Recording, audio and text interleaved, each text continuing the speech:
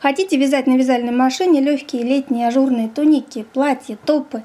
Тогда этот узор точно для вас. Легкий, быстрый в исполнении и очень эффектный. Раппорт 6 игл, то есть узор формируется за счет переноса трех петель влево и вправо.